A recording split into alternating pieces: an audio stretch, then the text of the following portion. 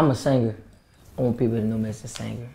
I was people trying they was knowing me as a rapper. I, am a singer. I prefer myself as a singer, a young man, who a lady man, a ladies man, and I sing.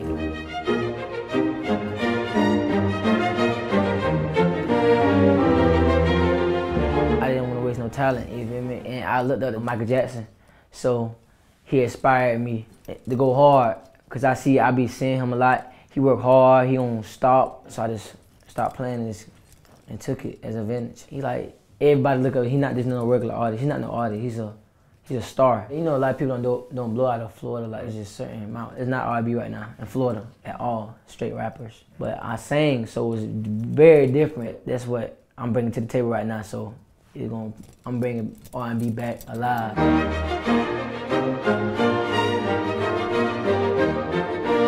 Probably eating.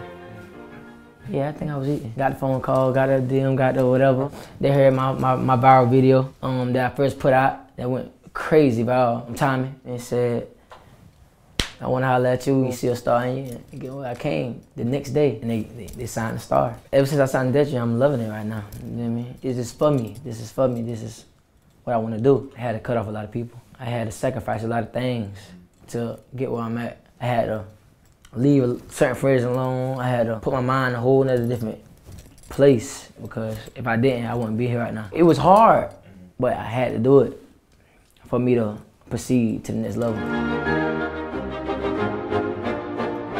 Kiwi, he was uh, he he met me through Instagram. He said, "I have a beat for you just for Valentine." The record wasn't done. He said, okay, I got a hit for you. This is the hit right here. He, he pointed out. He said, damn, you about to kill it. He me the beat. It was crazy. I'm like, yeah, I'm feeling this. So I'm in the studio. I'm loving it. And I'm making the song. When I put a sneak peek out, they loving it. He's at six million right now. It only been like two months. But Kiwi, he's very talented. He's underground. He's low. You feel me? So, but they mess with him. They they start getting on the train because they see him. They see the. They hear the beats. They hear it. So yeah. So it was crazy how the story was. He came over my boy house do a, um, the, the, guitar for him. I'm like, dang man, I want to do one. My boy, hey, he said, oh, I'm gonna get you with him. Ernie didn't know me. Ernie said, okay, I got you. It's okay. He ain't, he wasn't bougie. He didn't say nah. He was like, okay, I got you. So after my boy was done, we went back. My first song I did, I'm next. I did that song with him. He said, wow, he said, like, it was good. I was going viral, but I was still like, like 40K. A viral person had posted it. The man was like, wow, I went 40K to 100K. Like he saw it, he saw it coming up. Like he just, he saw it in his eyes, like, like, cause I, he didn't know me, he didn't know who I was, but he loved my voice. He loved who, who I was like, the person I was. Then like a week later, I was at like 200K, and like, wow.